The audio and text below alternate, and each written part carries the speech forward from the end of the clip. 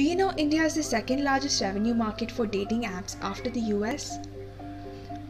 Although more than 31 million Indians are active swipers, most youngsters keep their dating life hidden from their families. But why? In order to portray dating as a dated import from the West, people are sternly monitored, particularly by their families, so they don't get into romantic relationships before marriage. Even in the public, unmarried couples face moral policing. However, we know that India has had its rich history of romance, which is evident in the ancient romantic literature of Sanskrit and Tamil. The progressive Indian customs that have acknowledged and even encouraged premarital relations for centuries are disregarded, unrecognized, and overlooked against the mainstream Indian customs. 18th and 19th centuries, when India was colonized, the British and the Indian elites wanted a uniform culture for India on the basis of upper caste customs, which looked down upon the tribal democratic cultures of courtship and dating and aimed to maintain caste lineage through the system of heterosexual marriage. Thus, dating has become a personal act of rebellion. On the other hand, the Indian society is currently witnessing the thriving of online dating apps like Tinder and Bumble, Oyo rooms for unmarried couples, and more. Does this mean India is in the process of embracing dating again as part of its culture? Now, we don't have answer to this, but we have attempted to study how dating is for us and how it was for the previous generation.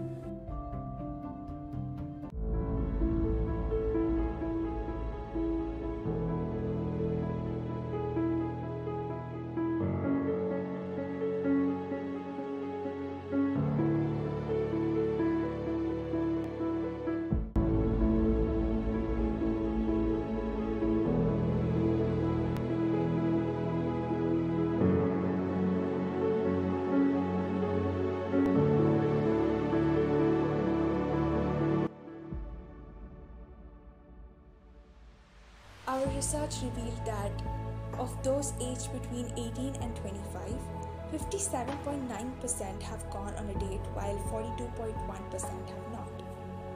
And we weren't shocked to know only 12.5% are comfortable sharing their dating life with their parents.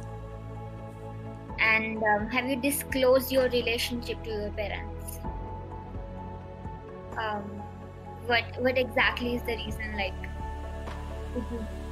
Generation gap uh huh, society like हमारी society allow नहीं करती है क्योंकि society को लगता है कि ये चीज़ गलत है alright. 37.4% said that they don't date. As we were curious, we asked for the reasons and got a list of responses from I don't date because of societal constraints to I'm very much focused on my career right now. Date नहीं कर रहा हूँ क्योंकि बहुत सारी friends हैं जिनसे बात हुई मेरी और मतलब आगे जा सकता था रिलेशनशिप ऐसा नहीं है। मतलब फ्रेंडशिप जा सकता था आगे, बात हुई मेरी।